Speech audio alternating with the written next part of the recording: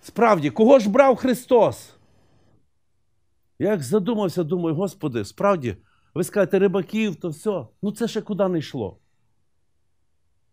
Але він взяв біснуватого, в якому було 2000 бісів. Той сказав, я піду за тобою. А він що сказав? Ні, йди і розкажи, що зробив тобі Бог. Уявляєте, кого він взяв? Уявляєте, що первосвященник може сказати: ти по гробам скакав, придурок.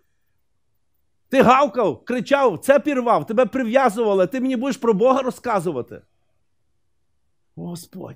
Я потім думаю, кого ще? Е, Він взяв то, що з п'ятьма мужиками жило. І зробив її євангелисткою. Самарянку. І вона що? Пів міста привела. А кого ти? Ти не мала ще п'ять мужиків, ні? І кого ти привела? Чиста красавиця.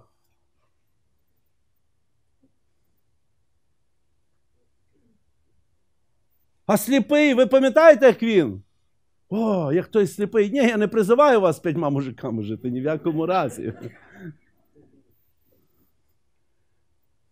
А ви подивіться, той сліпий, який прийшов і свідчив, вони кажуть, так він грішний. Я не знаю, що він грішний.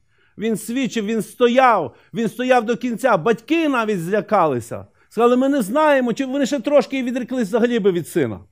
А він стояв. Ви розумієте, що потрібно сьогодні?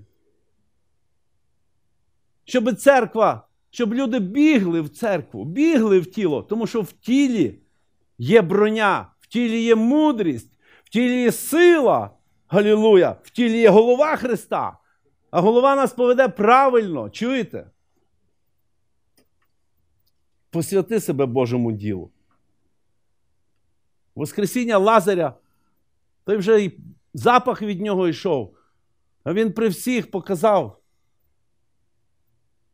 любов до друга. Чуєте? Любов до друга показав. Воскресив його. Той став єпископом потім, служив Богові.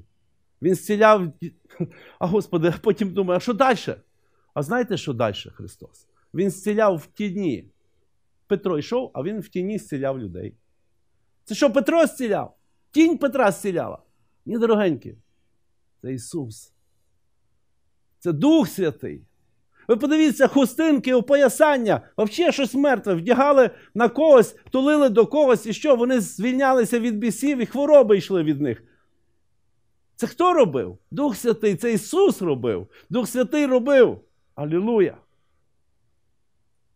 А що сьогодні ми тут бачимо?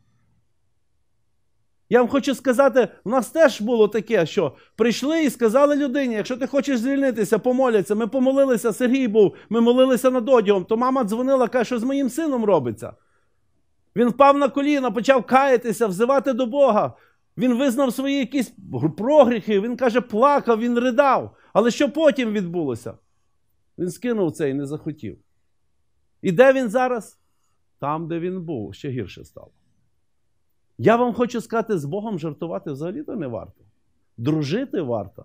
Невже ти будеш з другом жартувати, що він буде йти, а ти йому підставиш ногу, штовхнеш його, щоб він впав? Він і сьогодні тут. І ми бачимо це. Ми бачимо його ці дари, ті таланти, які він дав. І я вірю, що ці таланти, які ви отримали, ви їх примножите. Прийми його помазання, прийми його благодать, прийми все, що він дав тобі.